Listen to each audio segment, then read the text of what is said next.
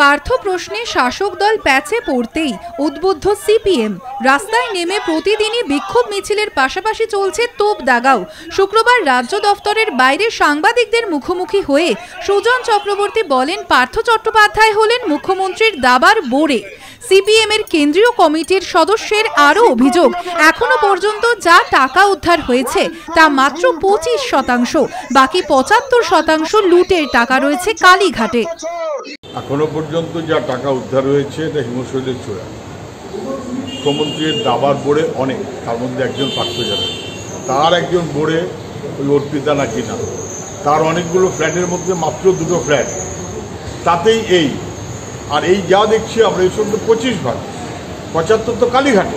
হুঙ্কার দিতে ছাড়েননি মোহাম্মদ সেলিমও। সিপিএম এর রাজ্য সম্পাদক সাংবাদিক সম্মেলন করে বলেন কোন চার আনা বারো আনার ব্যাপার নেই। সিপিআইএম ঘুষের পুরো ষোলো আনার হিসেব বুঝে নেবে।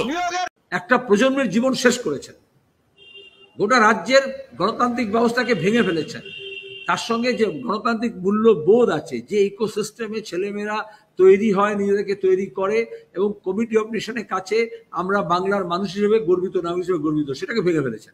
ছাত্রনেতা সৃজন ভট্টাচার্যের কটাক্ষ সেদিনের ছোকরাকে কয়লা কাণ্ড থেকে বাঁচানোর জন্য পুরো তৃণমূলকে বলির পাঠা করেছেন মমতা বন্দ্যোপাধ্যায়। হচ্ছে আপনার হাতে আলকাত্রা আছে খুব ভালো এটা বুঝে নিতে হবে। আলকাত্রা কয়লা দিয়ে তৈরি হয়। তার মানে ব্যানার্জি পরিবারের সাথে কয়লার যোগ আছে। ওই জন্য আলকাত্রাটা উনি আলকাত্রাটাই মনে হয়েছে। আর দু নম্বর কথা, এখন সাধু সাজছে বিকাশ বাবুকে সাধু পুরুষ বলে টনকাচ্ছে আরে বিকাশ বাবু আছে বলে এই চাকরি প্রার্থীরা লড়াই করছে এতদিন, আর এই চাকরি প্রার্থীদের দমে বিকাশ বাবু লড়ে যাচ্ছে এতদিন।